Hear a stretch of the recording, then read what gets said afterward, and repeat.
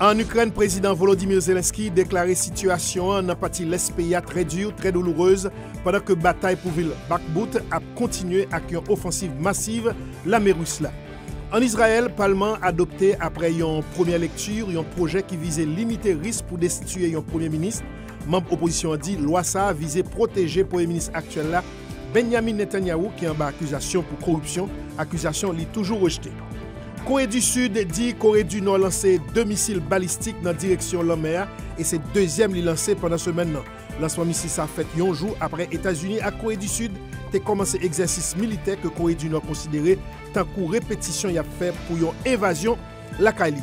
Haïti, 14 mars 2018, 14 mars 2023, ça fait 5 ans depuis journaliste photographe Vladimir Legagneur disparaît alors que l'État réalisé un reportage dans Grand Ravine, dans la zone Matissan.